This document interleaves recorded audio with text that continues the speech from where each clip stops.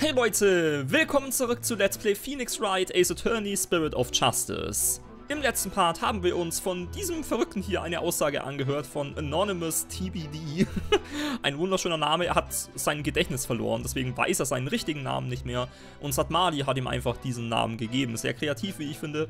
Und er gibt auf jeden Fall eine Aussage ab hier. Er behauptet, dass er ganz in der Nähe vom Tatort war, nämlich auf dem anderen Berg daneben, auf dem Berg Pony Pony, und dass er von dort aus mit seinen Ferngläsern dem Ritual zugeschaut hat. Das kann aber nicht sein, denn während des Rituals ist dieses Jahr von einem Vorhang umgeben. Das haben wir sogar hier auch als Beweis.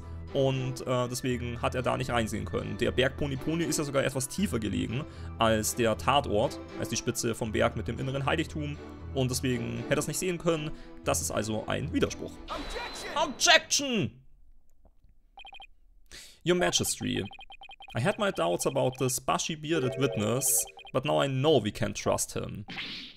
Oh what? You ain't just judging me solely on my bodacious beard, are? Not at all, Mr. Emus. It's much more than your sketchy appearance. It's your sketchy testimony. His testimony, you say? Yes, recall how the inner sanctum was that day. Specifically, that it was completely enclosed by the ritual curtain. Why, yes, I believe you're right.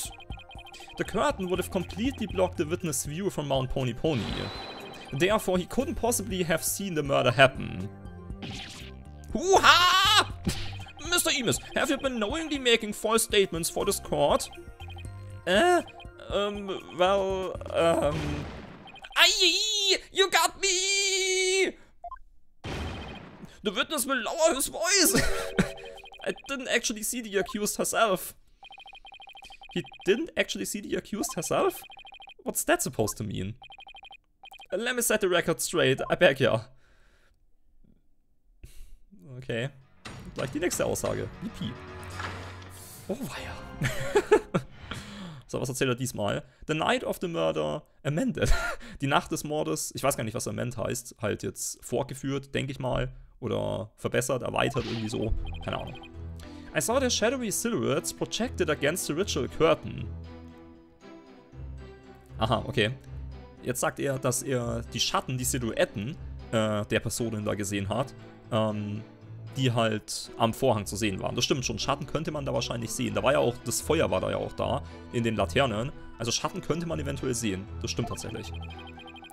Aber da würde es trotzdem irgendwas nicht stimmen. The figures were created by the light, genau, of the full moon and that...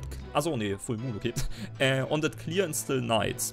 Nee, okay, er sagt jetzt doch, die Schatten äh, wurden durch, den Voll, durch das Licht des Vollmondes äh, halt herbeigeführt. Es war ja auch eine klare und stille Nacht. Das haben wir auch beim Wetterbericht gehört, das stimmt. Ähm, da waren kaum Wolken in der Nacht des Mordes. Und deswegen, das kann auch sein. Natürlich. Aber die Fackeln, äh, die Laternen waren ja sogar auch noch da. Also es war auf jeden Fall genügend Licht da. Da gebe ich ihm schon recht. She was just a shadow, but I could tell it was the accused, reverse gripping that dagger. Okay, es war zwar nur ein Schatten, aber ich konnte trotzdem klar erkennen, dass es die Angeklagte war, wie sie den Dolch, ähm, das hat er beim letzten Mal schon erwähnt, wie sie den Dolch halt umgekehrt quasi, verkehrt herum gehalten hat. Wir haben ja gehört, dass Maya tatsächlich, also Satmadi behauptet das, dass Maya angeblich wirklich von hinten äh, das Opfer erstochen hat, aber trotzdem in den Bauch. Sie ist also von hinten an ihn rangegangen, hat dann vorne herum äh, ihn in den Bauch quasi erstochen. Und deswegen hat sie den Dolch halt quasi falsch rumgehalten, im Prinzip, damit sie ihn von vorne herum in den Bauch erstechen kann. Und das will er gesehen haben, nur anhand der Schatten. Aha. Shadows? That's what you saw? That's right! I could see what was going on by the shadows projected onto the ritual curtain. In the future, Mr. Emus, I would rather you offer up accurate testimony from the start. Uh, forgive me, my main man, Mr. Magistry. Jog it up to my fuzzy memory. Though he saw but shadows, it is still valuable testimony. You have to be kidding me. What, what are we going to do now, Nick? Uh, all I can think of is to look for inconsistencies between the actual ride and what Mr. Emus says he saw. Now then, the defense may cross-examine the witness once more. Okay. Da habe ich jetzt noch nicht sofort einen Widerspruch entdeckt. Beim letzten Mal, das mit dem Vorhang, habe ich ja schon mir gedacht, bevor die Aussage überhaupt kam. Diesmal weiß ich es noch nicht. Vielleicht muss ich auch erst angreifen und es müssen neue Aussagen hinzukommen. Ich werde auf jeden Fall. Es sind ja sogar nur drei Teilaussagen. Das ist sehr, sehr wenig. Also ich glaube, dass da noch welche hinzukommen. Also, er hat ähm, die Silhouetten, die Schatten gesehen, ähm, die halt auf den Vorhang projiziert wurden. Hold it. So what you saw were simply shadows. That's right. Those shadow figures on the bright white curtain. They showed through plain as day. I could see everything that happened. But Miss Faye and Abbot Inby were at the top of a mountain late at night. The only light up there was coming from four small lanterns. How could the shadows have been projected that clearly onto the curtain? Ja, wegen dem Mond. No wonder people harbor you lawyers. You're always so dang skeptical. The lanterns weren't the only sources of light, you know. Mhm. Ja, mit dem Licht gibt's an sich keine Probleme. Aber mit, dem, mit den Schatten selber halt vielleicht. Auf jeden Fall, die Schatten wurden halt kreiert äh, durch das Licht vom Vollmond. Es war ja auch eine klare und stille Nacht. Hold it. You claim to have seen shadowy figures that were projected onto the ritual curtain. But did you really see them, Mr. Emus? Of course I did! The bright moonlight projected them onto that curtain, clear as day. It was like watching a scene out of a horror movie from my front row seat at Mount Pony Pony. Hmm. I guess the moon does shine a bit brighter when you're way up there. Maya, do you recall how bright the moon was that night? Um, I remember there weren't any clouds and that the moon was definitely out. But I don't remember if it could cast any shadows. Okay, thanks. We can't deny that the moon was really bright, which means it's possible that it was bright enough to cause shadows to appear. I remember it just like it happened. Mhm. She was just a shadow, but I could tell it was the accused reverse gripping the dagger. Das ist halt eine sehr spezielle Aussage. Vielleicht ist da irgendwas. Aber ich habe ich hab ja beim... Den Dolch habe ich ja auch. Äh, nee, Quatsch, den Dolch habe ich ja eben nicht. Das, der wurde ja noch immer nicht gefunden. Aus irgendwelchen Gründen, die Mordwaffe. Ja, den habe ich nicht mal. Na toll. Auf jeden Fall, sie war zwar nur ein Schatten, aber ich konnte trotzdem erkennen, dass es die Angeklagte war, wie sie den Dolch quasi falsch herum gehalten hat. Hold it. Hang on. How do you know it was Miss Fey if all you saw were shadows? It was that little bun on top of her head. Didn't need to see her face. That distinctive Bob's a dead giveaway. Jetzt ist natürlich die Frage, hat Maya zu dem Zeitpunkt schon die Robe irgendwie angehabt oder so? Ne, nee, hat sie aber nicht. Hm. Never underestimate my keen sense of observation. now that's one funny haircut. It's not nice to make fun of a girl's hairstyle. I like my hair this way. Besides, you want to talk, you Sasquatch. äh, Sasquatch. So. You're not into this wild manly look I'm sporting. Show us what you know, little girl. Nick! Isn't there some kind of a crime you can charge him with? I'm afraid it doesn't work that way. Now he claims he only saw shadows.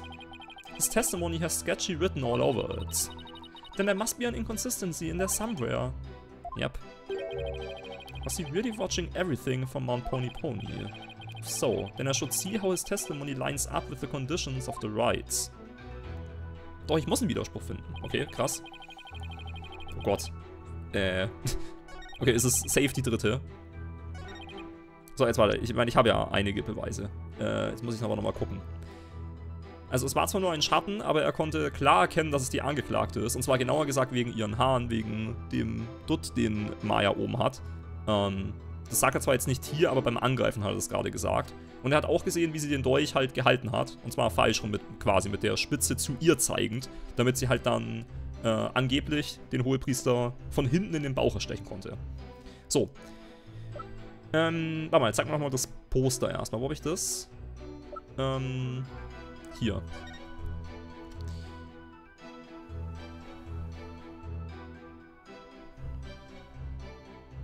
Ich meine, der ist ja nur 12 Meter tiefer und das ist ja eine relativ große Distanz. Also es ist schon okay, glaube ich. Wenn das, wenn das jetzt arg viel tiefer wäre, der andere Berg, dann könnte man das vielleicht nicht erkennen. Aber so, das kann schon sein, dass er da die Schatten sehen konnte. Also da speziell habe ich jetzt nichts dagegen. Ähm äh, das Gute ist, ich habe gar nicht so viele Beweise, die jetzt hier wichtig sind. Äh, genau, was Phoenix auch noch gesagt hat, ist die Reihenfolge der Rituale oder des Rituals wiederum. Das hat ja verschiedene Abschnitte. Warte mal kurz. Moment. Ne, das ist hier beim bei den, bei Notizen hier, genau. Ähm, ist es doch so, dass zu dem Zeitpunkt Maya schon die Robe anhatte. Und dass er deswegen ihre Haare gar nicht hätte sehen können. Moment.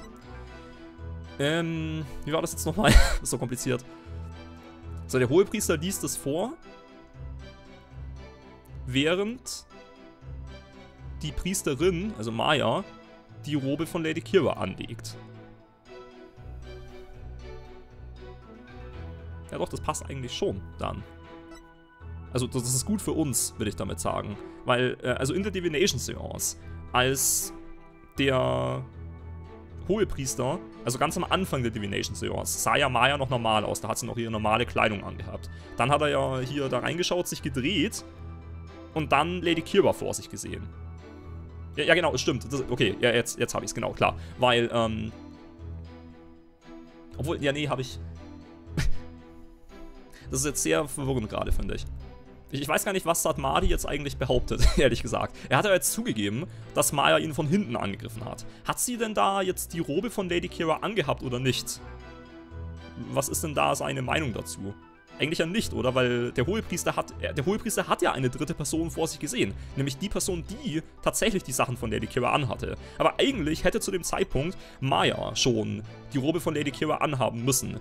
Bei der Divination Seance hat man ja auch den, hat er auch den Weihrauch gerochen, äh, der immer näher kam. Und die Robe von Lady Kira ist ja auch mit Weihrauch bedeckt.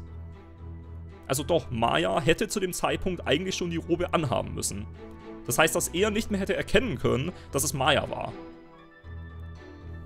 Richtig? Ich glaube, das ist der Witz. Bin mir aber nicht hundertprozentig sicher. Das ist nicht so eindeutig jetzt. Also äh, halt, ich, ich will damit nicht sagen, dass die Aussage nicht eindeutig wäre, äh, aber halt meine Erklärung ist nicht eindeutig. Deswegen bin ich mir nicht sicher, ob das stimmt, weil es könnte noch eine bessere Erklärung geben, die dann wirklich eindeutig wäre. Aber mir fällt gerade nichts Besseres ein. Hier, hier, das ist halt sehr komisch, dass er das mit dem Dolch extra dazu sagt, dass sie den Dolch andersrum gehalten hat. Aber ich habe den Dolch ja nicht. Ich habe gar nichts zum Dolch bei den Beweisen. Das passt mit der Divination Seance aber auch wieder überhaupt nicht. Die Divination Seance ist ja das Allerheiligste und die ist ja auf jeden Fall richtig. Und das stimmt ja tatsächlich auch, ich glaube dem ja auch. Die Insights sind halt falsch, aber die Divination Seance an sich ist ja richtig. Ähm, und da hat man ja auch gesehen, wie Lady Kira dann vor ihm aufgetaucht ist und wie Lady Kira den Dolch in der Hand hatte. Und wie dann von vorne eher quasi erstochen wird. Also wie hätte es denn sein können, dass dann Maya noch von hinten kommt mit einem anderen Dolch, obwohl es den dann nur einmal gibt? Das macht alles überhaupt keinen Sinn. Wieder mal. Aber ja, ich, ich probiere das mal noch. Ähm, weil mir nichts Besseres einfällt. Das ist immer nicht so ein tolles Zeichen. Aber es ist schon, es ist schon halbwegs logisch, finde ich. Weil Maya hätte die Robe schon anhaben müssen zu dem Zeitpunkt. Und dann hätte er nicht mehr erkennen können, dass es Maya ist und so. Scheiße. Fuck. That statement is inconsistent with this piece of evidence! Let it go and move on. Abandon this folly. You know very well your evidence proves nothing. Nice try, but you can't make me give up. I'm going to prove I'm right. You can point your finger as much as you want, but you're simply wasting your time. It is a pitiful sight to see a lawyer who doesn't know when, he's, when he speeds. I just need to hang in there a little longer. Das kann ich aber loben an dem Spiel bisher. Also immer wenn ich bisher einen Fehler gemacht habe, dann war es auch so, dass ich mir schon dachte, ah, ob das wirklich stimmt. und immer wenn ich mir sicher war, hat es auch gestimmt. Also es war bisher immer eindeutig eigentlich. Und jetzt gerade war ich mir ja nicht ganz sicher. Also es, es muss irgendwas Besseres geben. Aber ich will nochmal kurz überlegen, bevor ich dann den Part gleich beende. Ähm, äh, gibt's, ist doch bei einer von den anderen Aussagen irgendwas falsch. Er hat die Schatten gesehen, die gegen den Vorhang projiziert wurden. Hier, ähm, was steht da nochmal alles? Äh, ja. Lady Kira wurde überall gesehen. Äh, das mit, dem, das mit dem Eis ist auch so komisch gewesen. Das ist, das ist aber eigentlich schon logisch. Das ist ja geschmolzen, das ganze Eis, was da noch war. Weil an dem Tag des Mordes war ja auch schönes Wetter. Und in der Nacht ja auch noch. Okay.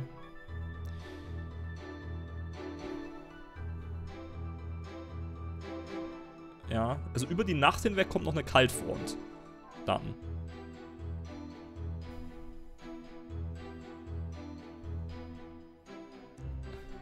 Ja, das, nee, aber das ist, glaube ich, nicht. Ich meine, eine Kaltfront alleine, es ist halt dann kälter geworden vielleicht, ja, aber eine Kaltfront alleine muss ja nicht unbedingt mit Wolken auch einhergehen.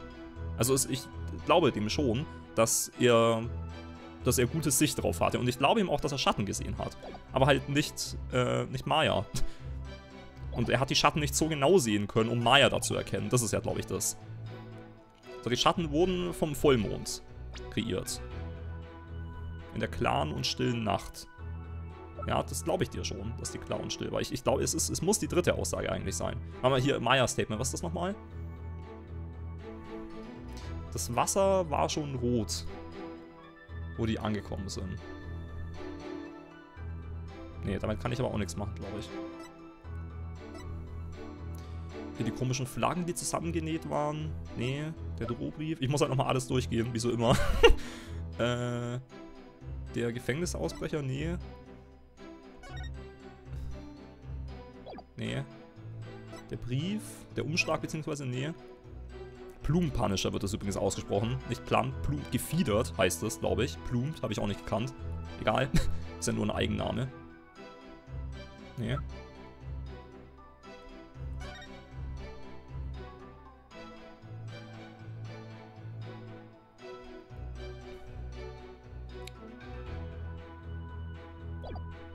Verdammt.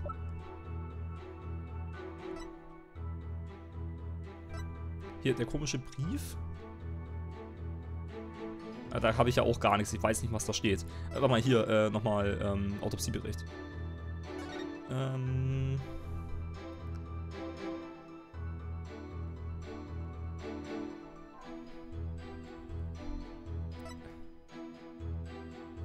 Hier das...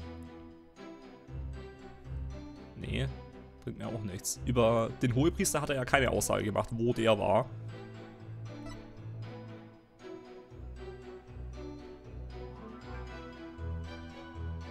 Die Wunde wurde bei, vom Warbed Dagger äh, ausgelöst. Oder herbeigeführt, wie auch immer. Das ist komisch, ich würde gerne zur Divination Seance was präsentieren, aber die, ich habe die ja nicht als Beweis so richtig, weil seine Aussage stimmt nicht mit der Divination Seance überein, würde ich sagen. Weil der Hohepriester hat Lady Kira mit dem Dolch vor sich gesehen und dann soll er von hinten von Maya erstochen worden sein. Das kann ja gar nicht sein.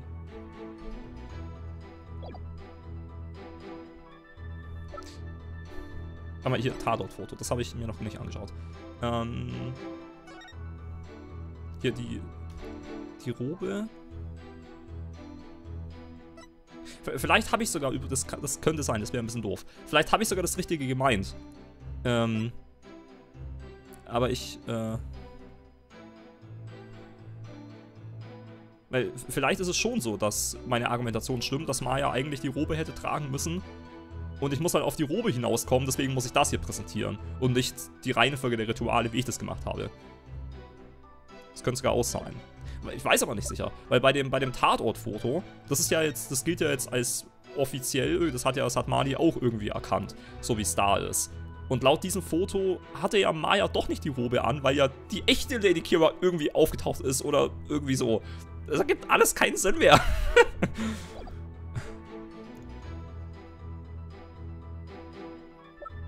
Warum habe ich denn zum Dolch nichts? Das regt mich auch auf, wenn ich dazu irgendwas hätte. Ich probiere jetzt, ich werde bis zum nächsten Mal das nochmal, ich gehe nochmal dann jeden Beweis genau durch und schaue mir das nochmal an. Ähm, ich versuche jetzt mal noch einmal schnell das hier. Aber, weiß nicht, das gefällt mir eigentlich auch nicht. Ich habe bei keinem Beweis wirklich eine gute Idee. ist doof probiere jetzt mal trotzdem noch das. Ja, das war eigentlich klar. Hätte ich auch gleich sein lassen können. Is something... Aber jetzt kommt ein anderer Text einfach, lol. Is something the matter? Sorry, that screen just sort of slipped out. Es gibt sogar verschiedene Bestrafungstexte, das ist ja voll cool. Ich sollte häufiger Fehler machen. I don't know about trials in your country, but we refrain from such rash outbursts here. Perhaps this will deter any future urges you might have. I'm not helping my case in the judge's eyes, both literally and figuratively. Ah, stimmt. Ich, könnte sogar jetzt mal das Feature auch mal. Das habe ich ja noch gar nicht benutzt bisher. Äh, genau, das hat man ja auch schon mal geschrieben. Wenn ich zweimal einen Fehler mache am Stück, äh, dann kann man Consult machen und dann kriegt man nochmal so einen kleinen Hinweis. Irgendwie. Das könnte ich mal beim nächsten Mal vielleicht machen. Dann habe ich das auch mal einmal gezeigt, dieses Feature. Ich würde ja ganz gerne alles einmal zeigen wollen, weil ich bin jetzt nämlich auch aufgeschmissen. Ich weiß es nicht. Ich werde es mir mal trotzdem bis zum nächsten Mal nochmal überlegen, ob ich vielleicht noch selber eine andere Idee bekomme. Aber ich werde beim nächsten Mal das mal benutzen, dieses Feature. Weil ich bin ja, ich weiß es gerade wirklich nicht, muss ich sagen. Aber ja, ich würde erstmal sagen, auf jeden Fall, das was hier für diesen Part von Let's Play Phoenix Wright, Ace Attorney, Spirit of Justice. Beim nächsten Mal geht es dann weiter mit der Aussage hier, ich werde dann mal consulten und gucken, ob mir Phoenix noch irgendwelche coolen Tipps geben kann. Ähm, Wann bin ich jetzt bei der zweiten? Habe ich gerade bei der zweiten Aussage präsentiert? Ich Idiot. Alter, es hat wahrscheinlich doch gestimmt einfach. Egal, beim nächsten Mal werde ich es dann schon herausfinden und dann wird es schon, ne? Ja, also dann Leute, bis zum nächsten Mal. Ciao.